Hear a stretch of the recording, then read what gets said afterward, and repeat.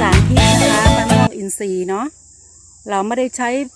เราไม่ได้ใช้ปุ๋ยใช้ยาฉีดอะไรสักอย่างเลยนะคะเนาะปล่อยตามธรรมชาติ ปล่อยตามธรรมชาติเขาเลยเขาจะติดก็ไม่ติดก็เป็นเรื่องของเขานะคะเนาะ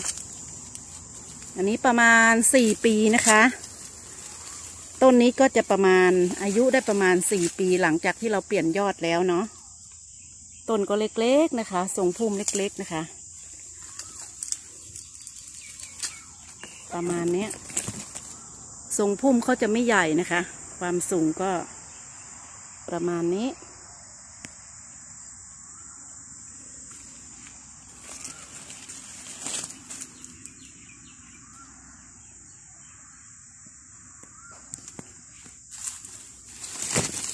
เห็นไหมลูกก็ไม่สวยนะ ลูกก็ไม่สวยเท่าไหร่ แต่ว่าเรารับรองว่าเราไม่ใช้ยาใช้สารเคมีอะไรเลย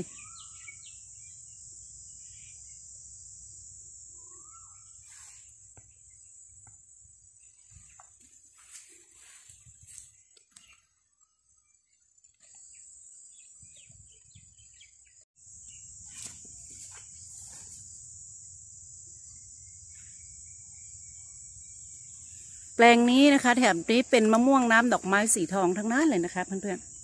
ๆ น้ำดอกไม้สีทอง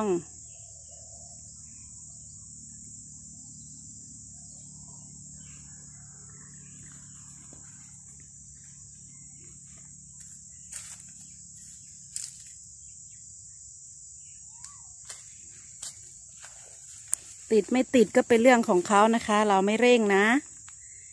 แล้วแต่นะคะ แล้วแต่จะติดไม่ติดก็เป็นเรื่องของเขา ได้เท่าไหร่ก็เท่านั้นนะคะ มีบ้าง ต้นเล็กๆอย่างเงี้ย